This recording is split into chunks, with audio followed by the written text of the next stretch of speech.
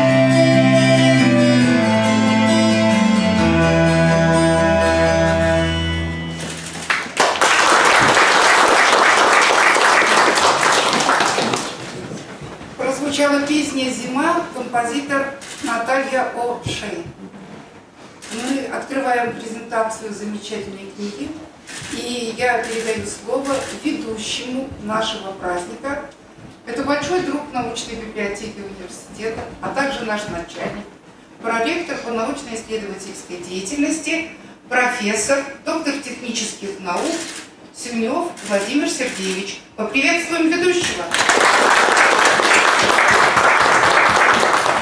Дорогие друзья, э, очень трепетно сегодня присутствовать здесь и э, вот вести церемонию презентации этой замечательной книжки. Виктор Васильевич мне ее подарил на прошлой неделе. Э, я побежал на какое-то совещание, схватил ее с собой. И, в общем-то, я даже не помню, какое совещание было, потому что я был увлечен вот листанием страниц, любованием Э, этими прекрасными женскими фигурами в изображении величайших художников э, всех времен и народов. И э, пребывал в таком волнении эротическом, что просто, значит, вот, растерялся. И меня мучила очень такая загадка, почему именно представители анестезиологии и реанимации уделяют столько внимания Э, вот теме женской красоты, женской эмансипации, вообще темам гуманитарного воспитания. И для себя я сделал вывод такой, что, наверное, эти люди, они все время находятся в сложной ситуации. Они видят, э, чувствуют, вернее, грань между жизнью и смертью. И это, наверное, заставляет их как-то э, вот в тяжелых ситуациях думать о прекрасном. Наверное, эти люди больше всех вот ценят это то, что прекрасное, что дается нам в жизни, и мы часто не замечаем. И вот э, опять э, схватив эту книгу очередной раз и побежав на эту церемонию презентации, я еще больше проникся этой идеей, потому что только что присутствовал на заседании ученого совета Института экологии, биологии и агротехнологий, где мы говорили с коллегами о неприятных таких бренных вещах сегодня, как аккредитация университета, написание вот этих э, рабочих программ РПД, когда дисциплин, каких-то э, там этих э, оценочных средств, да, о том, что на нас сегодня навесили ну, очень тяжелые показатели по публикационной активности.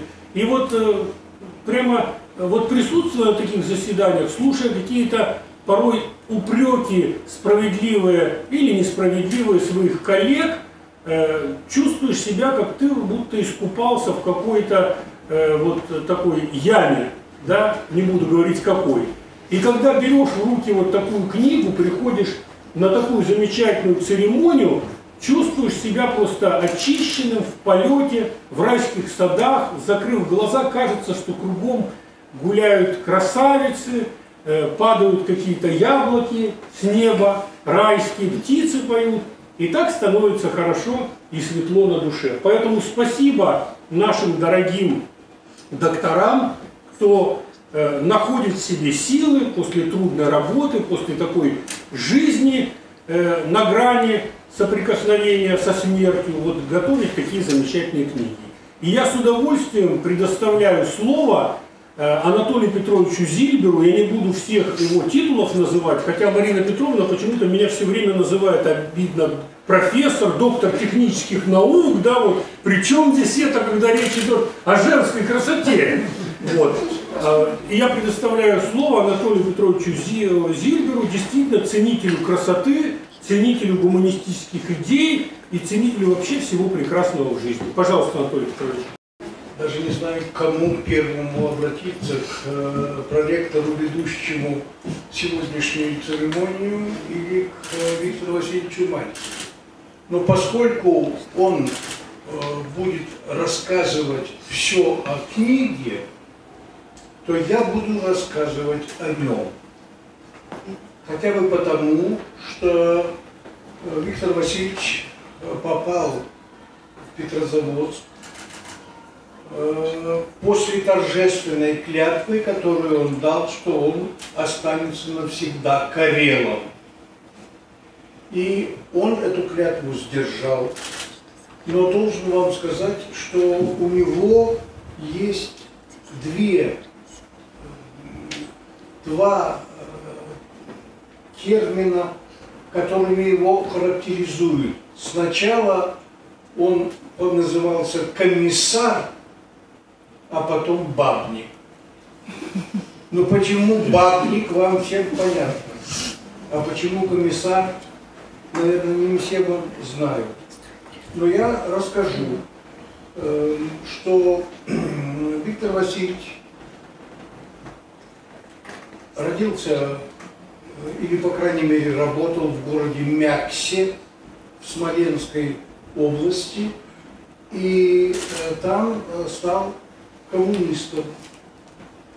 И приехал в Петрозаводск за взятку, которую ненаказуема сегодня, потому что это была э, взятка торжественная, врученная Петрозаводскому университету за то, что его взяли сюда в аспиранты. И он назывался изначально комиссар. И в Итаре, и в университете, когда организовалась кафедра. Ну и могу вам только сказать, что оправдал. Э, я вынужден коснуться книги, что он привлек всех возможностей Карелов для того, чтобы оправдать посвящение своей жене этой книги. И нашел бывшего Карела, но э, специалиста такого, что надо, э, Юрия Владимировича Андропова и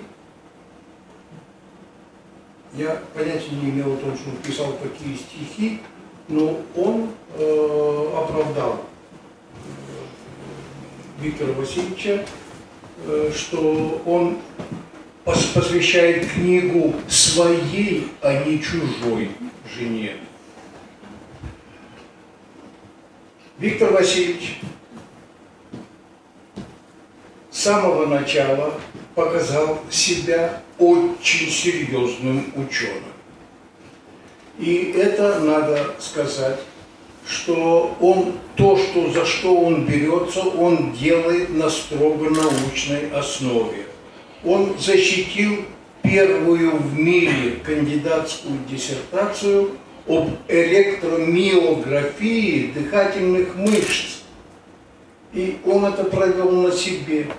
Он втыкал себе в диафрагму иглы и снимал электромиограмму. Ну, многие, наверное, понимают, о чем идет речь. И сделал выводы, которые противоречили тем, которые сложились до него. Ну, вот я смотрю на его значок. Это значок почетного члена правления общества анестезиологов э, и реаниматологов России. Но в маленькой Карелии Два значка таких всего лишь есть, и поэтому э, это свидетельствует о том, что он в самом деле ученый. И когда он взялся за бабьи дела, то у него тоже это получилось научно, строго проверено. И э, он воспитывал сестер и приезжающих к нам на учебу врачей, Э, учил их женской красоте, демонстрируя альбомы, которых успел собрать невероятное количество. И у него это хорошо получалось. Должен вам сказать, что он в этой книге приводит красоток самых разных. И в частности э, приводит Идалию Полетику. Это э, дама, которая, на которую ополчился Пушкин И она этого не простила ни Пушкину, ни Дантесу, ни всем прочим, потому что она, Пушкин имел э, уже донжуанский список, но он успел жениться на первой красавице Гончаровой Наталье Николаевне. И это э, кончилось тем, что Италия, э, и далее политика осталась неудовлетворенной. Она дождалась, когда открывали бюст Пушкину в Одессе, для того, чтобы плюнуть на пьедестал этого Пушкина. И я уже сразу скажу, что все знают, что дуэль э, Дантеса с Пушкиным состоялась. Но мало кто знает о том, что несостоявшейся дуэли Горького с Дантесом. Максим Горький э, дал нам сведения о Данко, о Соколе, о буревестнике. И сидя на берегу Черного моря, он э, сочинял разные мифы. И один из мифов звучит так, что Горький, приехав в, во Францию и узнав, что Дантес еще жив, вызвал его на дуэль за то, что его родственники плохо отозвались о, России и обо всем другом. И дуэль не состоялась, потому что Дантес сказал, что он убил одного великого поэта и будет э, очень нежелательно, чтобы он убил и второго, а что он приготовил пистолеты и все такое прочее, но дуэль не состоялась. Ну, я говорю, это, возможно, миф самого Горького. Но все интересуются, э, почему э, те, которые видели эту книжку, интересуются, почему у нее такой ничтожный тираж, 200 экземпляров хотя нужно было бы, по крайней мере, две тысячи. Так я вам скажу, что книжки подобного рода, по, по крайней мере, последние три книжки, которые выпущены кафедрой, они выпускаются главным образом за счет автора. И у Виктора Васильевича хватило денег только на 200 экземпляров. И поэтому надо все-таки держать нам в голове, что хорошие книги надо издавать большими тиражами. И тогда не потребуется, вот я здесь видел до, до начала еще, когда возмущалась одна э, дама, имеющая отношение к медицине, что почему такой тираж и как э, купить книжку для того, чтобы ее написать у автора.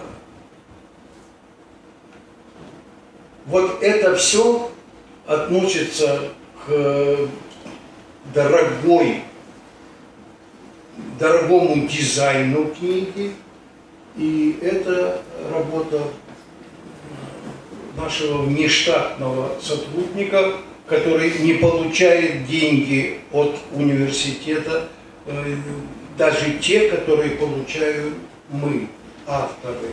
А она закончила Петрбург в давным-давно, но закончила филфак.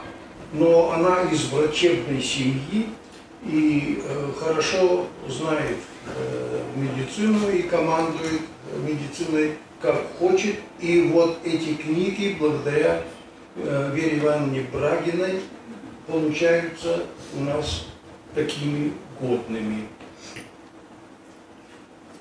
Я думаю, что если вы, я на этом закончу, то этого будет достаточно, чтобы уже виновник торжества рассказал о книге, да? Ну, пожалуйста. Спасибо.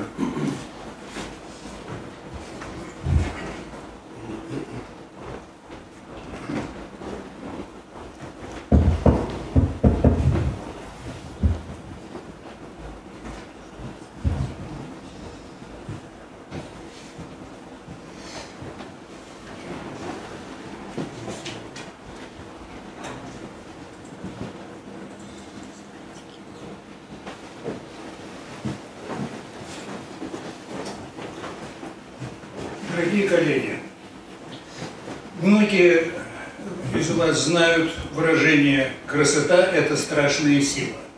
Может быть, не очень многие знают, что автор этого выражения – российский поэт Семен Надсон, который написал два стихотворения под одним названием «Дурнушка».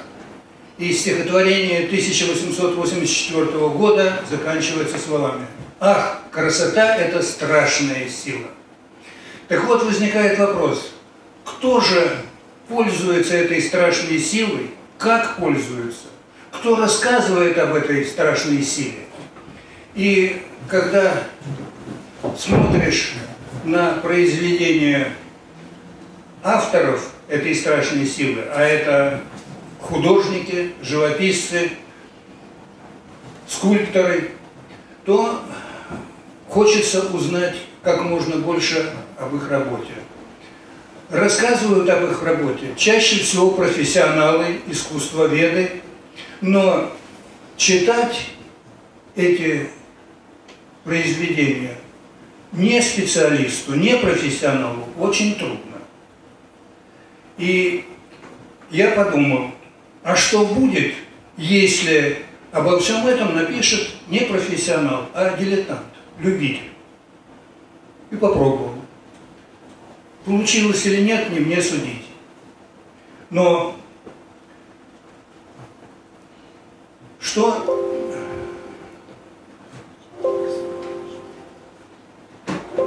Нет, не надо пугаться, это какой-то сигнал в компьютере все время идет.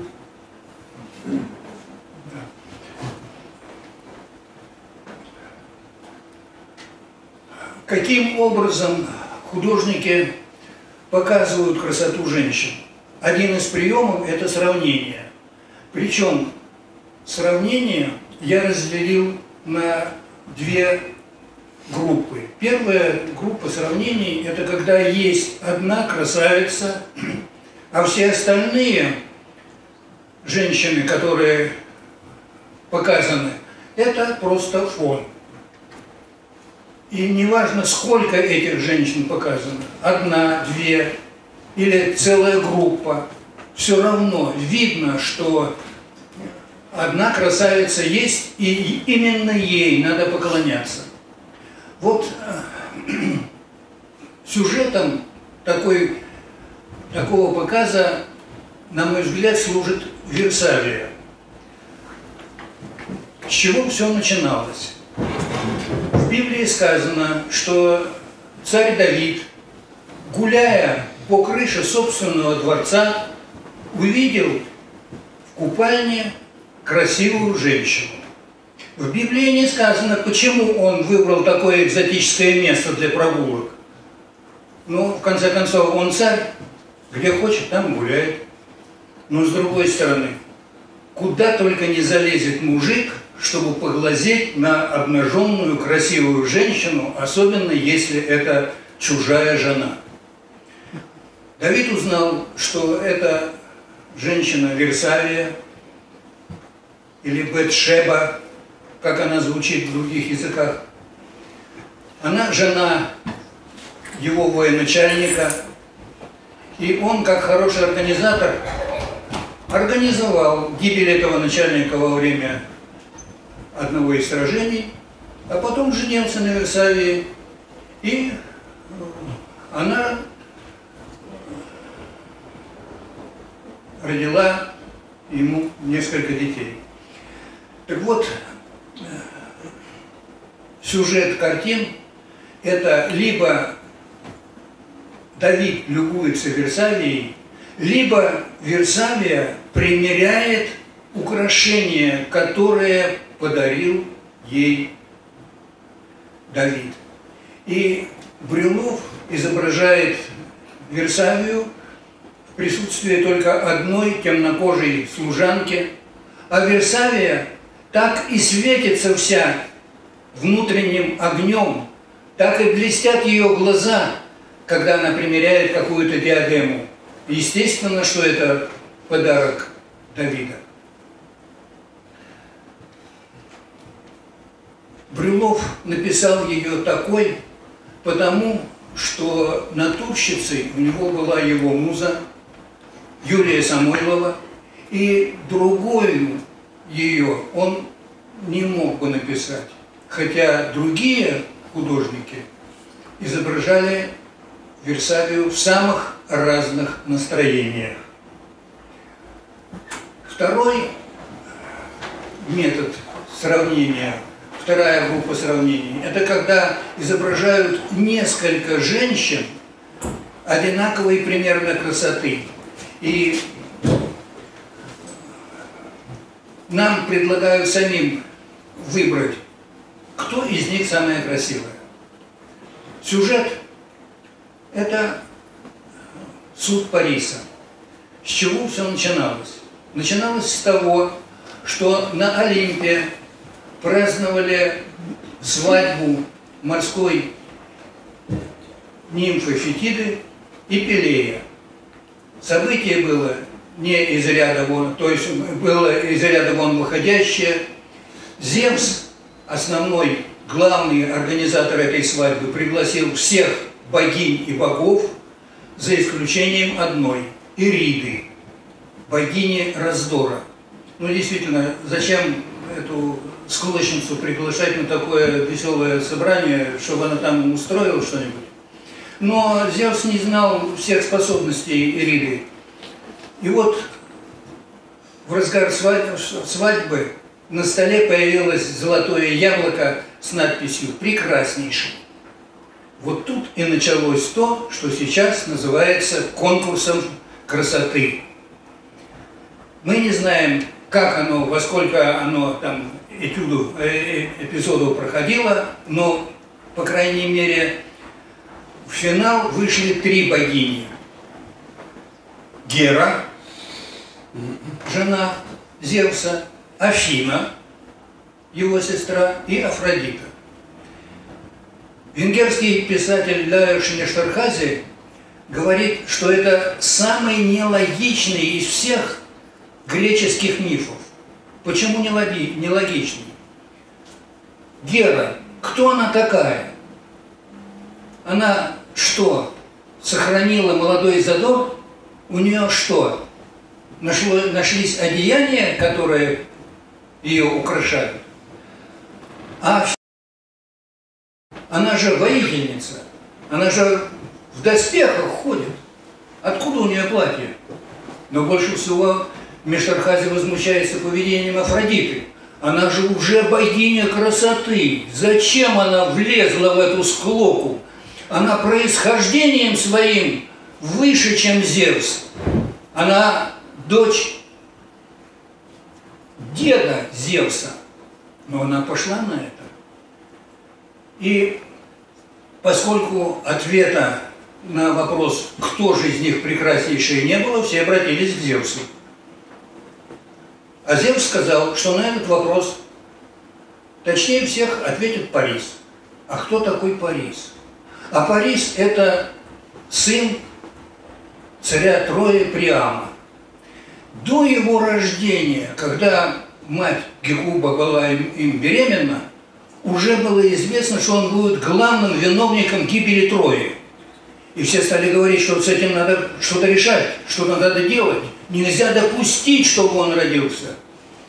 Но, очевидно, малая гинекологическая хирургия в то время была плохо развита, по крайней мере, до троя не дошла, и э, малыш родился.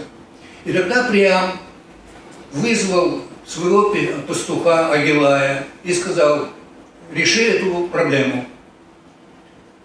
У Агилая не поднялась рука на младенца. Он отнес его на высокую гору Иду и оставил там, чтобы его звери съели.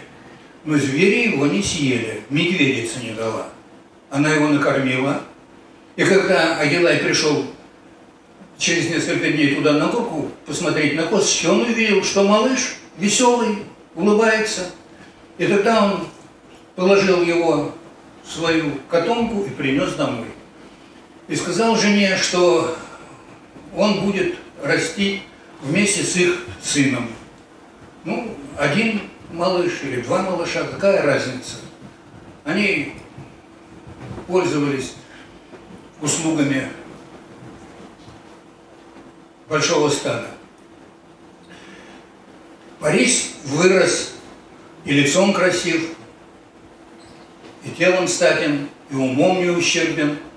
Нашел общий язык с животиной, те слушали его с первого слова.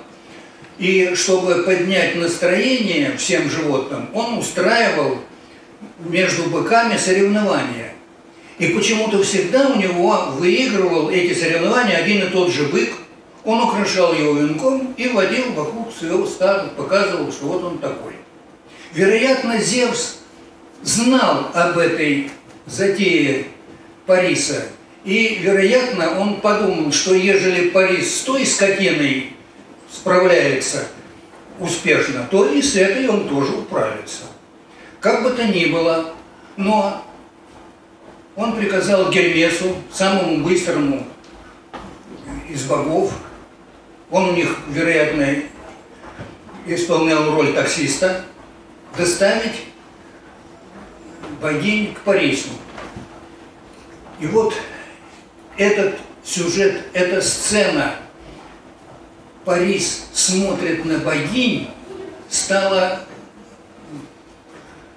сюжетом очень многих картин.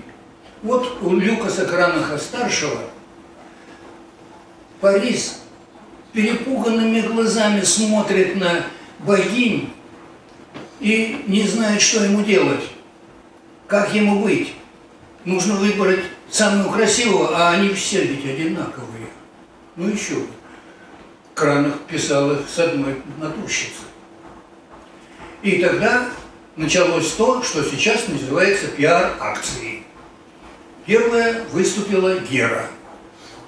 Она сказала, что если он отдаст яблоко ей, то она сделает его самым богатым и могущественным человеком Айкумены. А что такое богатство? Что такое могущество? Парис и слов-то таких не знал. Не было этих слов в его лексиконе. Они ему не нужны были на, на пастбище.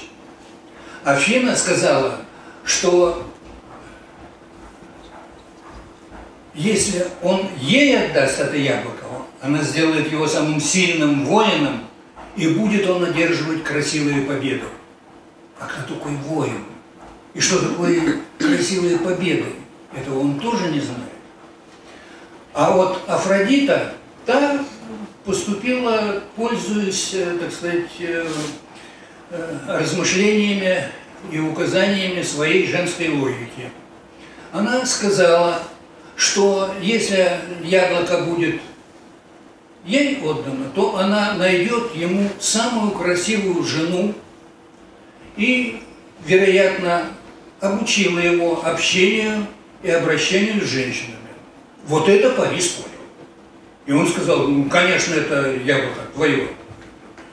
И как не возмущались те две сестрицы, яблоко было отдано Афродите. Афродита сдержала слово, она помогла выкрасть Елену Прекрасную,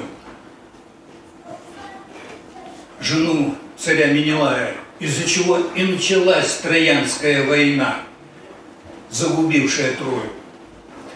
Между прочим, Айзек Азимов, который жил немножко позже, чем Парис, предложил измерять красоту женщин в Еленах. Правда, с оценочной, с оценочной шкалой у него что-то ничего не получилось. Так он и не смог ее изобразить. Но это уже другой разговор. Это уже другая история. Естественно, что художники писали портреты женщин. И как пишет Ната Присти, есть в каждой женщине какая-то загадка.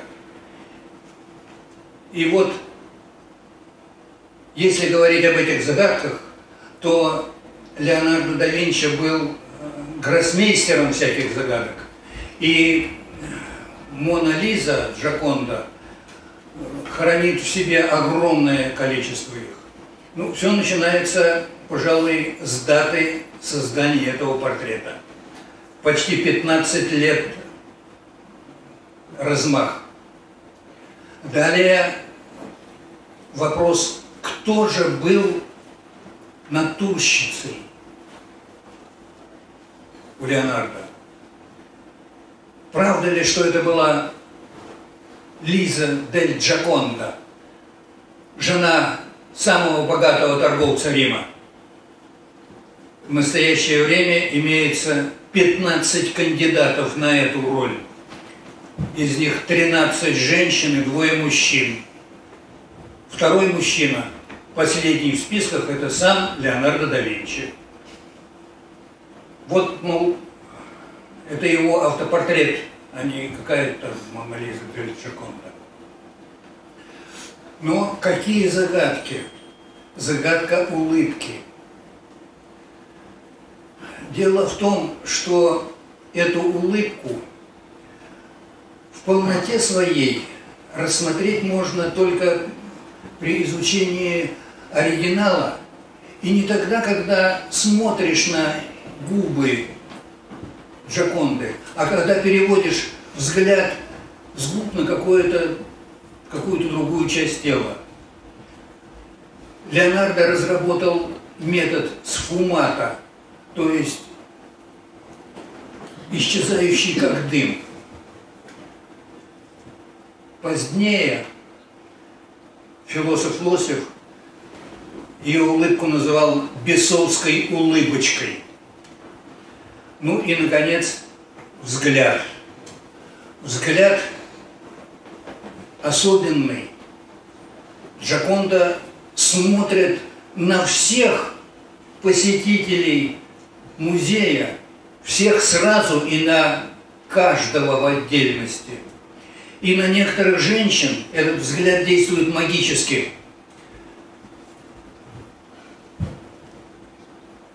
работники Лувра говорят, что не проходит недели, чтобы не упал, не упала какая-нибудь женщина возле этой картины, которой приходится вызывать скорую помощь, потому что она теряет сознание. И когда спрашивают, почему, все говорят, это взгляд. Русские художники тоже могли создавать портреты женщин с такими же самыми загадками. От боярыня Неврева. Изображена богатая женщина, боярыня, которая в своем самом красивом платье встречает пришедшего к боярину гостя. В руках держит золотой или золоченый поднос. На нем стоит графинчик из такого же материала со сладкой водкой, который на Руси назывался хлебным вином. Она нальет этого этой сладкой водки сначала себе в маленькую стопочку, затем в большую стопочку для гостя. Сделает глоток из своей стопки, дабы показать, питье не отравлено. И после того, как гость выпьет все, что она ему налила, она поцелует его в губы. А хозяин будет стоять и смотреть, как она это делает и как он это воспринимает.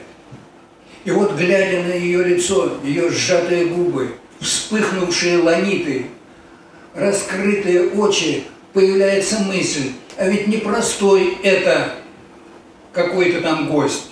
Было что-то у них раньше, но дальше не пошло. Евгений Михайлович Кунин, который здесь присутствует, написал такое стихотворение, которое назвал «Боярине». «Налей, боярине, вина, за дни мелькнувшие беспечно, за неслучившуюся встречу, любовь, что нам не суждена, за сумасбродство мыслей тайных, держание только свечей, за взгляд отчаянно случайный, который солнце горячей, за неизбежность расставаний, щемящую тревогу сна, налей, боярыня вина, из неисполненных желаний. Мы не нарушим распорядка. Ты перед Господом чиста, твой поцелуй сухой, но сладкий, мне запечатает уста. Еще один женский портрет и тоже с загадкой. Портрет Ивана Николаевича Крамского, который он назвал «Неизвестная». Когда в 1883 году он принес ее на выставку, то весь Петербург устремился посмотреть на этот шедевр. И все спрашивали его, кто это, кого ты написал? Он отвечал, неизвестное. Но где-то взял это сокровище, придумал, и ему никто не верил. А между прочим, Оскар Уайльд, правда, лет через 25 после создания этого портрета сказал, что всякий портрет, написанный художником с любовью, это по сути не портрет того, кого он, кто ему э, позирует, а его собственный портрет. Его, не его, э, не он именно себя изображает. И вот этот взгляд магический, какой-то немножечко пренебрежительный на всех, он остался почему-то неописанным аналитиками этой картины. А все описывают ее одежду – одета она по самому последнему визгу парижской моды. Когда у Павла Третьякова спросили, покупает ли он эту картину, он долго стоял и смотрел на нее, потом повернулся и пошел. За ним бросились в догонку, так вы покупаете? Нет. Почему? Он ничего не ответил. Разумеется, картину купили, но очень скоро поползла о ней дурная слава, что приносит она несчастье владельцу. От первого владельца ушла жена, у второго владельца сгорел дом, третий вообще разорился. Цена этой картины падала прогрессивно до 1925 года. А в 1925 году она попала таки в Третьяковскую галерею. И сейчас она находится там, в 20-м зале, и см смотрит своими такими прикрытыми глазами на тех, на толпы тех мужчин и женщин, которые теснятся возле этой картины. Вот еще одна, можно сказать, загадочная картина. Это иллюстрация к древнеримскому, к древнегреческому мифу об Аполлоне и Дафне. С чего все началось? Аполлон был очень деятельным богом, бог-прорицатель, бог-врачеватель. Он управлял всеми музами. Он говорил, что он самый стрел, меткий стрелок из лука и лучший музыкант. Правда, нашелся один чудак по имени Марсий, который сказал, что он лучше на духовых, чем Аполлон на струнных. Было устроено состязание. Музы отказались вынести вердикт, кто победил. И тогда Аполлон сказал, что он победил, и приказал с Марсия снять с живого кожу. Больше с ним никто не спорил. Но однажды он узнает, что на Олимпе появился какой-то мальчишечка, Ирод. Он стреляет из, из своего лука и не промахивается. Ну, поначалу он не обратил на это внимания. Подумаешь, какой-то там мальчишка бегает с игрушечным луком.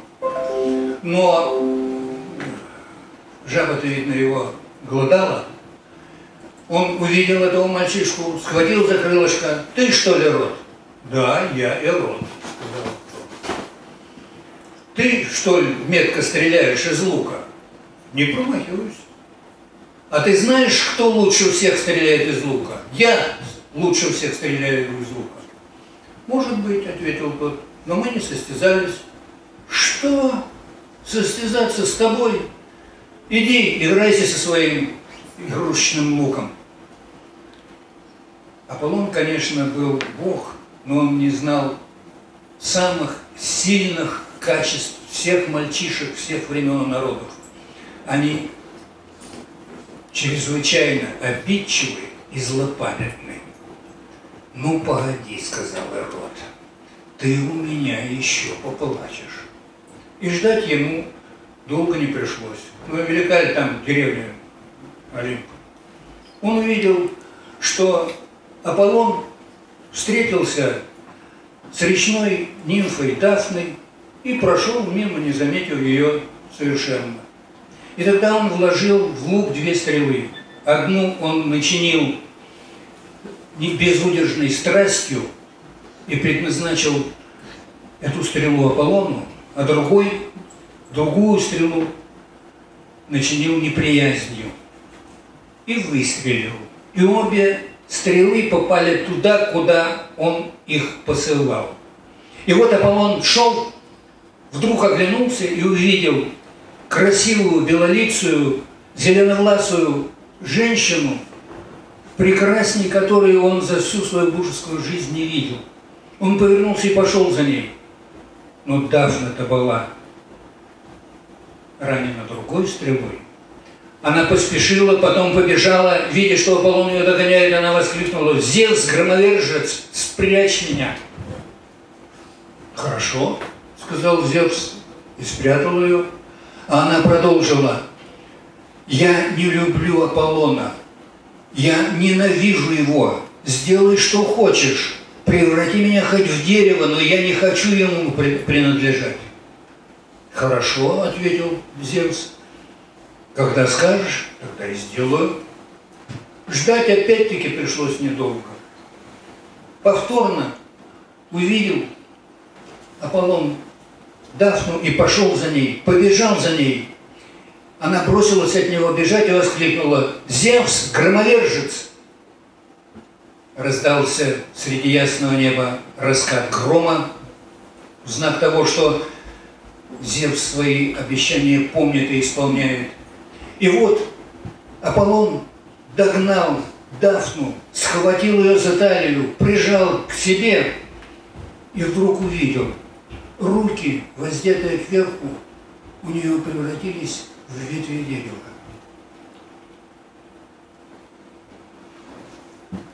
А тело стало быстро-быстро покрываться жесткой корой. И вот он уже прижимает не красивую женщину, а дерево. из этого очень логичного по своему развитию и по всему прочему мифа может быть несколько нравоучительных выводов, но я приведу два из них. Первый нравоучительный вывод. Нельзя пренебрежительно относиться к сопернику, каким бы незначительным он ни казался. Этот миф и этот вывод должны знать все спортсмены и их тренеры. И второй вывод. Даже для Бога, очень в нее влюбленного, нелюбящая женщина – дерево. Еще одна загадка. Загадка под названием «Маха обнаженная, обнаженная и маха одетая». Эти две картины написал Франциско Гойя по заказу премьер-министра Испании Мануэля Гадоя, он же князь мира, он же главный любовник королевы. Гойя понимал, чем он рискует, создавая эти картины, особенно первую, маху обнаженную. А рисковал он всего-навсего своей жизнью. По приказу Святой Инквизиции он мог быть сожжен заживо на костре, но он написал ее. Сначала маху обнаженную, а потом по заказу того же самого Гадоя маху одетую. Ходит легенда, что Гадой Оба полотна прикрепил на доске, доски укрепил на оси, так что одна картина была, была видна сразу. Это была маха одетая. И зритель, присытившись взором, осмотром этой красивой женщины, отворачивал эту картину и видел Маху одетую. Но настроение этой Махи сразу менялось. Взгляд неприязненный. Она как будто отодвигается от зрителя и говорит, не тронь. Сразу же возникла возник вопрос, с кого написал Франциско Гоя эту картину? Было несколько предположений, но Леон Фейхтвангер написал свой знаменитый роман Гойе о Гое, и там он написал, что натурщицей служила ему 13-я герцогиня Альба. Гойя действительно написал много портретов герцогини Альбы. Это портрет в белом, есть еще портрет в черном, есть еще не меньше десятка всяких портретов. Всех это очень устроило. Всех, кроме потомков герцогини Альбы. Они возмутились и вскрыли саркофаг, чтобы измерить кости герцогини и сравнить их размеры и э, с размерами э, картины. Но им не повезло. Наполеоновские солдаты надругались над саркофагом, над прахом герцогини Альбы, поломали кости, и поэтому эта легенда была, не была опровергнута. Но, тем не менее, нашлись люди, которые говорили, что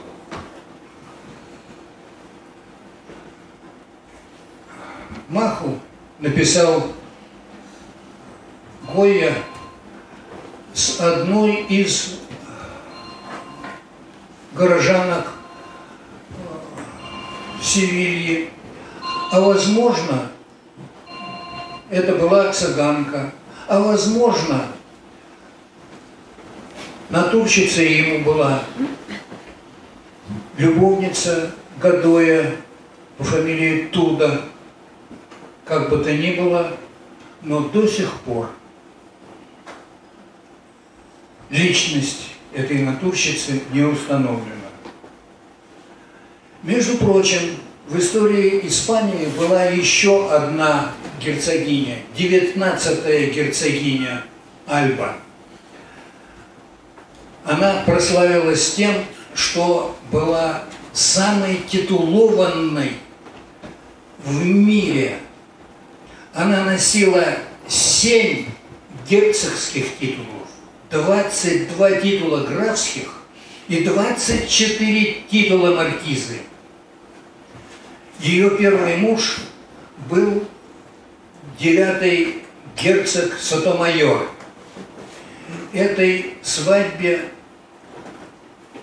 радовалась вся монархическая Европа, потому что раньше это было две половины монархической Европы, а тут одна свадьба, и все объединились, все стали родственниками друг друга. Но тому герцогу как-то в жизни не повезло, и в возрасте 40 с небольшим лет он умер. Герцогиня недолго вдовствовала и вышла замуж второй раз. Но вышла она замуж уже не за герцога, а за бывшего иезуитского священника. И это вызвало возмущение очень многих. Сам Папа Римский написал ей письмо, что если она сделает этот шаг, то он ликвидирует привилегию не преклонять перед ним колени. Ну, герцогиня Альба, я не знаю, махнула рукой или плюнула в его сторону, но замуж она вышла. Опять-таки, почему-то и второму ее мужу не очень повезло, потому что он умер раньше. И в 76 лет она осталась вдовой. Через 6 лет вдовства она решила выйти замуж, и на этот раз она в качестве жениха выбрала простого муниципального служащего. Вот тут вскипела вся Европа. Сам король Испании звонил ей по телефону и говорил, чтобы она не позорила семью этим браком. Она махнула на него рукой и сказала, что свадьба будет. И свадьба случилась действительно через три года, а эти три года она потратила на то, чтобы улучшить свое лицо. Она обратилась к пластическим хирургам. И те уж подработали над ее лицом. Уж сделали они его, страшнее не придумаешь. И тогда очень многие обрадовались этому. Ну теперь-то уж ее жених от нее откажется. Но он не отказался, он сказал, что он любит герцогиню и женится на ней. Вздрогнули все потомки герцогини. Шесть. Шестеро детей, девять внуков, два правнука. Они могут остаться без наследства, а наследство составляет 3,5 миллиарда евро.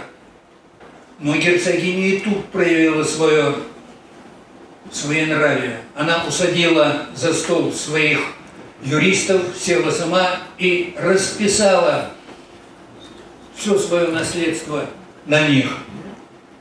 Ей ничего не надо. Ее жених – богатый человек.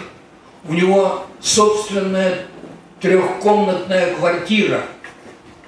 Когда я прочитал об этом, я подумал, а где он жил-то, в Испании или в Советском Союзе? если у него такое богатство было. Но, тем не менее, когда ей исполнилось 85 лет, свадьба состоялась. И на этой свадьбе 85-летняя 19-я герцогиня Альба, как в молодости, танцевала босиком на своей свадьбе. Сзади он виден ее жених. Ему всего-навсего 62 года. Три года продолжалось их счастье, после чего герцогиня упокоилась, и ее место главы этого клана занял ее старший сын. Еще одна загадка под названием Клеопатра. Клеопатра была царица Египта, слыла своей, своей красотой. Она была довольно активная царица, ездила в гости, и когда она приехала в Рим и задержалась там довольно надолго, Гай Юлий Цезарь обратился в Сенат с просьбой развести его с его своей женой и разрешить жениться на Клеопатре. Но Сенат не согласился, потому что слишком мелкая эта царица была, какой-то далекий заморский Египет. Их не сразило, не уговорило даже то, что Клеопатра к этому времени родила сына, которого она назвала Цезарионом. Она вернулась к себе в Египет, потом стала то ли любовницей, то ли гражданской женой Марка Антония, одного из владе... влиятельных людей Рима, который стал воевать с Октавианом за престол, проиграл эту битву. Клеопатра закрылась в своем замке и никого туда не пускала. Но военная администрация сказала, что это будет ее... Правда, учитывая, что она все-таки царица, она может гулять за пределами своего замка, но только если и спросит разрешение у администрации большего оскорбления придумать было просто невозможно. Но вот однажды все узнают, что Клеопатра собирает пир. И тогда все стали говорить, что ага, лед тронулся. Я, правда, не знаю, был ли тогда в Египте лед, лед сейчас-то есть, это точно. Но все обрадовались, и в разгар этого пира возле ворот дворца появился какой-то крестьянин, сказал, что он принес для царицы ягоды смоквы и показал сосуд. Ну, стражники сказали, проходи, неси, раз принес. В том сосуде под ягодами смоквы была змея, египетская кобра – Клеопатра разгребла ягоды, обнажила змею и сказала, вот ты какая. Змея укусила ее, двух ее служанок, и все трое они умерли. И вот этот сюжет, смерть Клеопатры, стал почему-то лакомым кусочком для художников – Здесь Гвида Коньячи изобразил Клеопатру в окружении шести служанок, молодых, красивых. И сама Клеопатра такая же молодая и красивая, как эти служанки. Могло ли это быть? Клеопатре к этому времени было по одним данным 39 лет, по другим аж 52 года. У нее было трое родов и четверо детей. И внешний вид ее, ее живот, ее молочные железы не могут быть такими, какими их изобразил этот художник. Но, тем не менее, этот, эта картина была принята. А какая же была на самом деле Клеопатра? Вот прижизненное изображение ее профиля бюстов на монетах. А вот бюст Клеопатры, который хранится в Ватикане. Грубое лицо, огромный нос. Почему все восхищались ее красотой? На этот вопрос ответить я не могу. И более того, я могу только прочитать окончание стихотворения Николая Заболоцкого. Потому как я не знаю, что такое красота и почему ее обожествляют люди. Сосуд она, в котором пустота, или огонь, мерцающий в сосуде. Я окончил. Спасибо за внимание.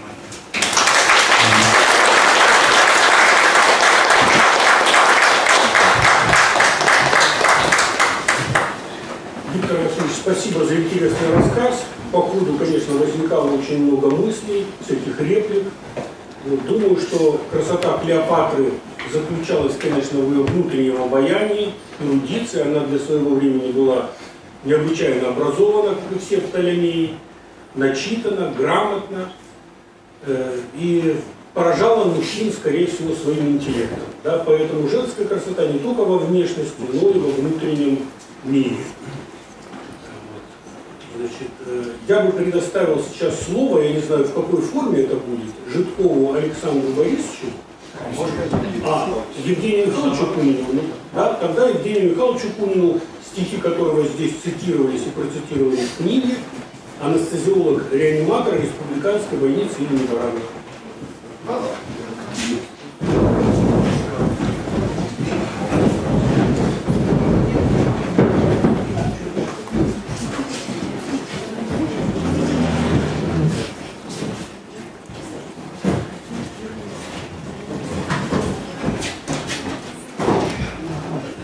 Уважаемые дамы и господа, я не буду так долго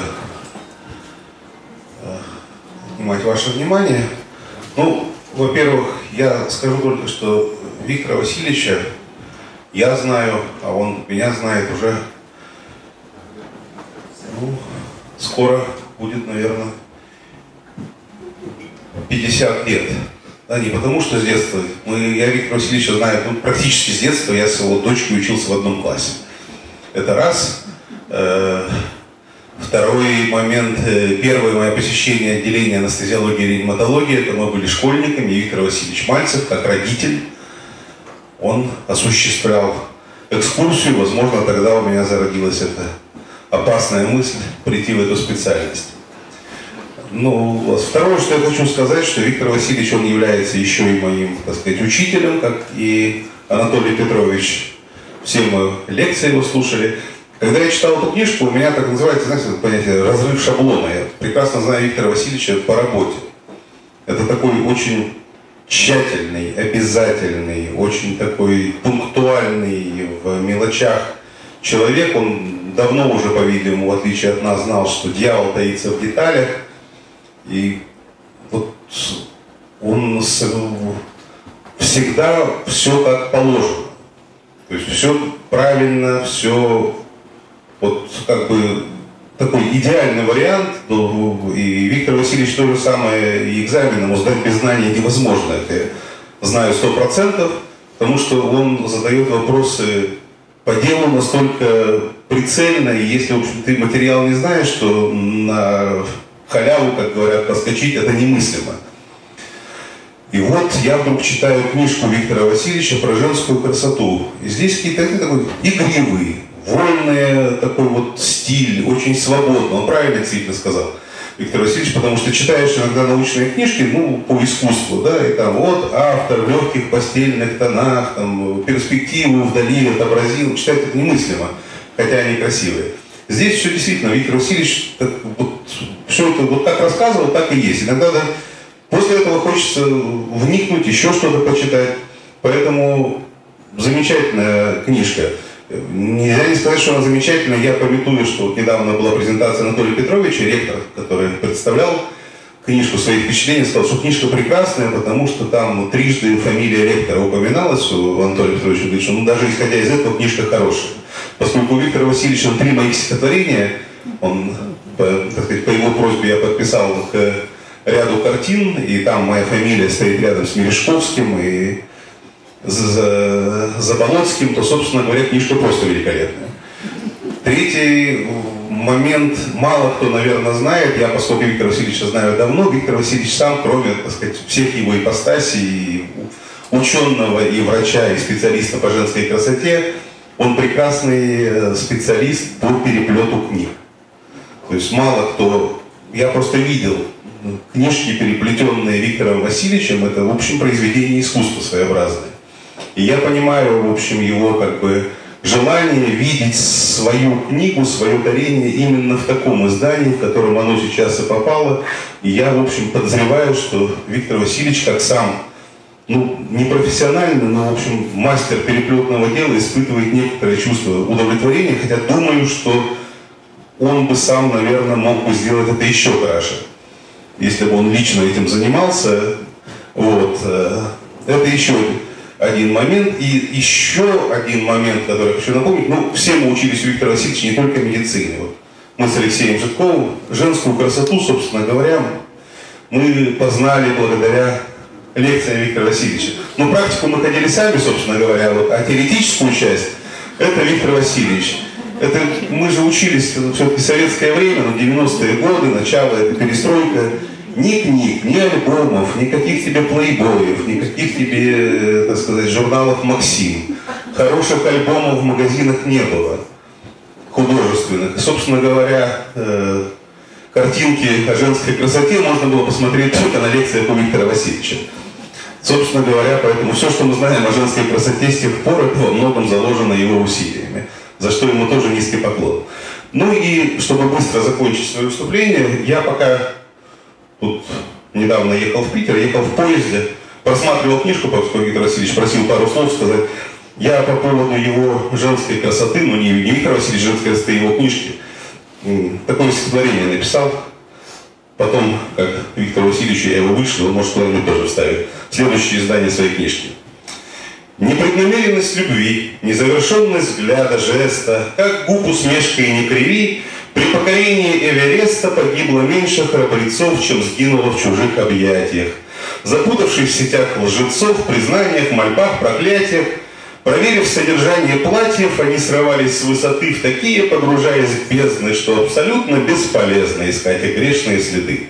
А мы, признаться, и не ищем, за ними повторив маршрут, Доходим с собственным умищем Мадонны, пленных не берут, поймают, в порошок сотрут, для остроты добавят в пищу, Опасность женской красоты не в том, что взгляд мужской темнеет, рассудок погружая в сон, а в том, что под тончайшим льдом пылает факел Гименея, шаг в, неизвестность, в неизвестность, возглас где я, миг опален и обручен. Растерянность сменяет шок, хотя есть выбор порошок. Виктор Васильевич, спасибо вам за книгу. Я надеюсь, что вы какое-то помните уже издание. Стихов мы вам подбросим. Алексей Борисович тоже поможет, поверьте. Если вам не хватит классики. Борис Жирков.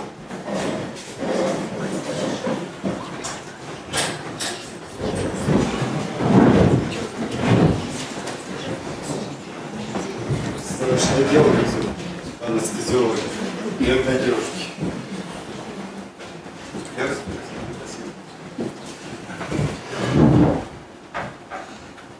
Я один, еще один вариант есть ответа на удивленный вопрос, риторический вопрос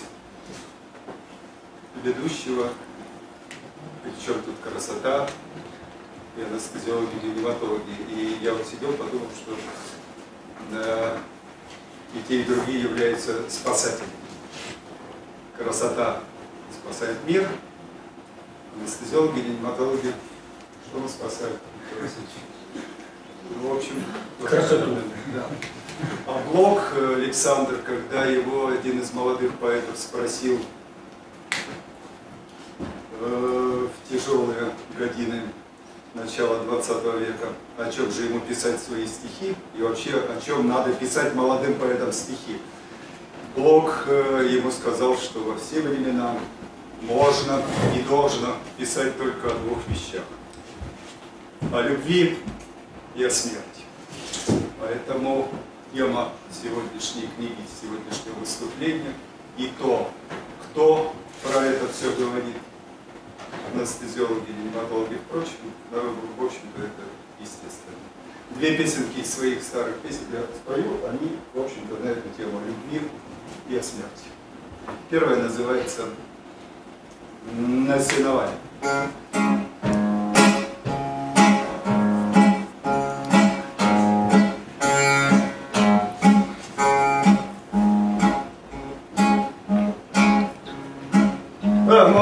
Завтра Бог в цветах сисицевый платок Завернет планеты наши черствый колобок. И уйдет с тем узелком по млечному пути. Бормоча в усы Господи, прости, пока наседовали, А глядя сквозь проем дверной, А звезды мы с тобой считаем, А сделав отдых небольшой, А через дырку в стенке лунной Зайка косой а молока из крынки пьянку сделал золотой. А на лице коровка Божья не мешает мне. Знаю, кто травинкой будет по моей щеке. В лесу уже включили а предрассветный птичий джаз И соловьим заголосили, а будто бы последний раз. А может завтра Бог цветастый ситцевый платок Завернет планеты наши черствый колобок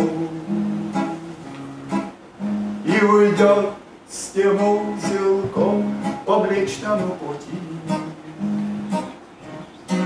А бормоча усы Господи, прости.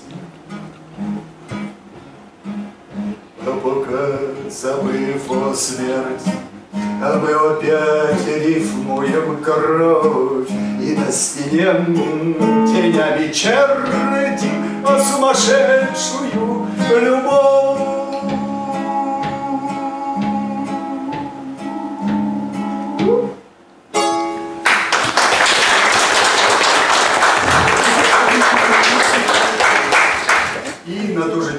песенка называется «Без предательца» или Песенка Ларисы Дмитриевны.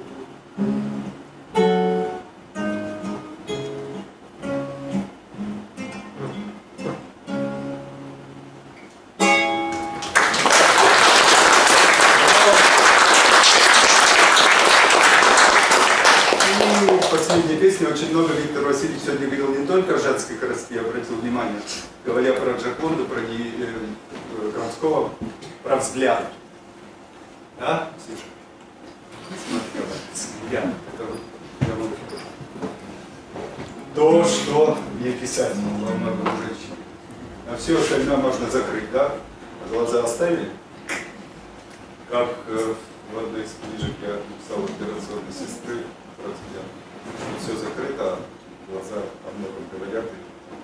Ну, в общем, не об этом э, в заключении про взгляд и э, такая немножко шуточная хулиганская песня, хотя, в общем-то, наверное, грустная.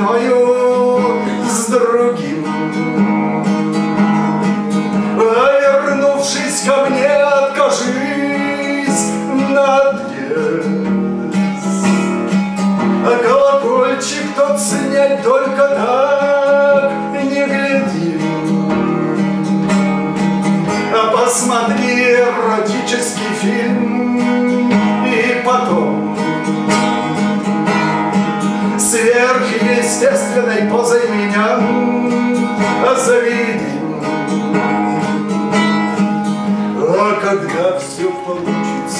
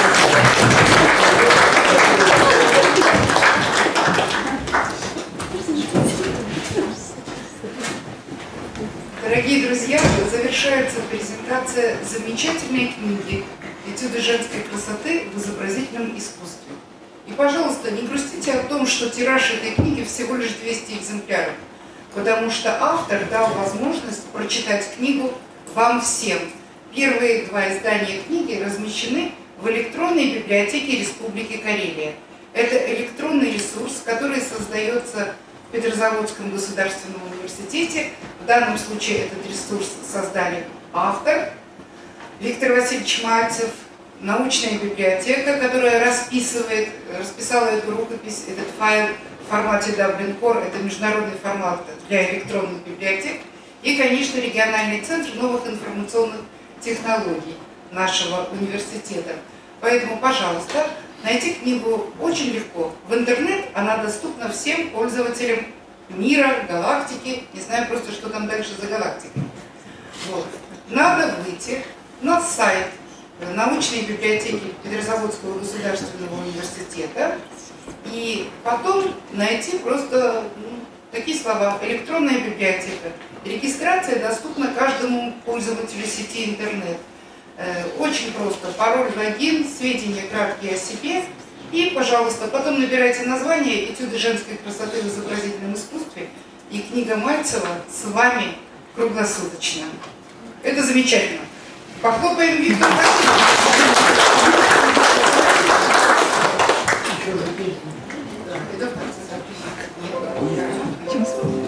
И, дорогие друзья, мы завершаем презентацию чудесной книги Виктора Васильевича Мальцева песней.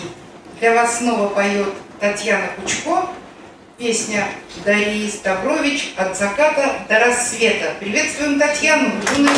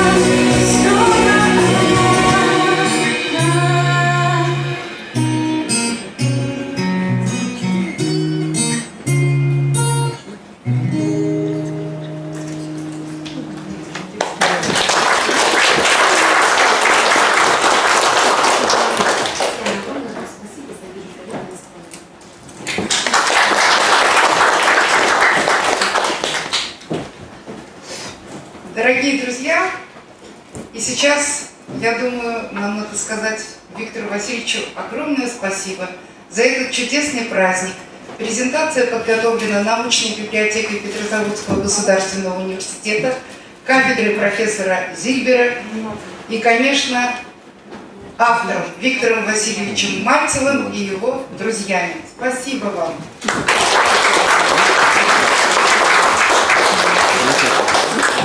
Спасибо всем присутствовавшим, спасибо за внимание, спасибо, спасибо, спасибо.